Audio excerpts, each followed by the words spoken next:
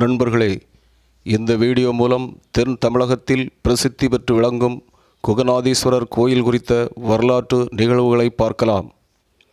கன்னியாகுமரி ரயில் நிலைய சந்திப்பில் அமைந்துள்ளது புகழ்பெற்ற குகநாதீஸ்வரர் கோயில். ஆயிரம் ஆண்டுகள் பழமை வாய்ந்த இக்கோயில் தஞ்சை பெரிய கோயிலை கட்டுவதற்கு முன்பாகவே சோழ பேரரசரான ராஜராஜ சோழனால் கட்டப்பட்டதாக வரலாற்று சான்று கூறுகிறது. குகன் என்ற முருகக் கடவுள் சிவனை வழிபட்டதால் இக்கோயிலுக்கு குகநாதீஸ்வரர் கோயில் என்று பெயர் வர காரணமாக கூறப்படுகிறது. மேலும் இக்கோயில் கருவறை குகை போன்று காணப்படுவது சிறப்பம்சமாகும். இக்கோயிலின் தலவிருட்சம் வில்வமரம் ஆகும். இக்கோயில் மூலஸ்தானத்தில் அமைந்துள்ள சிவலிங்கம் தென் மாவட்டங்களில் மிகப்பெரிய சிவலிங்கம் என்ற பெருமை கொண்டுள்ளது. இதன் உயரம் ஐந்தரை அடிகள் ஆகும்.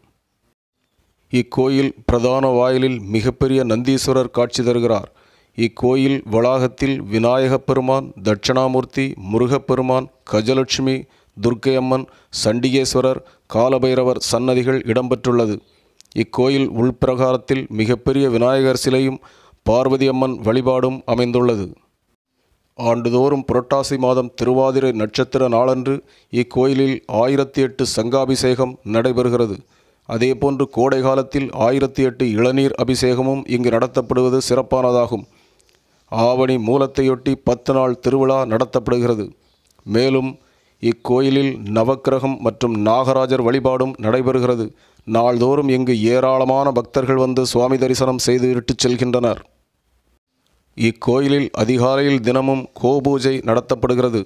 மேலும் ஆனி மாத பௌர்ணமி நாளில் குகநாதீஸ்வரர் காரைக்கால் அம்மையாரிடம் மாங்கனி கேட்கும் வைபவம் மாங்கனி திருவிழாவாக சிறப்பாக கொண்டாடப்பட்டு வருகிறது. இதில் ஏராளமான பெண் பக்தர்கள் பங்கேற்கின்றனர். சிவராத்திரி மற்றும் பிரதோஷ நாட்களில் இக்கோயிலில் சுவாமி தரிசனம் செய்வதற்காக தென் மாவட்டங்களைச் சேர்ந்த திரளான பக்தர்கள் வந்து செல்வதை காண முடிகிறது. இந்த ஆலயத்தில் காலையில் நடை திறக்கும் போதும் இரவில் திருநடை சாத்தும் போதும் ஆலய சாவியை பைரவரிடம் வைத்து பூஜை செய்யும் நடைமுறை வழக்கத்தில் உள்ளது. புதிதாக வாகனம் வாங்குபவர்கள் இங்கு வந்து வாகனத்தின் சாவியை பைரவரிடம் வைத்து பூஜித்து பின்னர் பெற்றுக்கொள்கின்றனர்.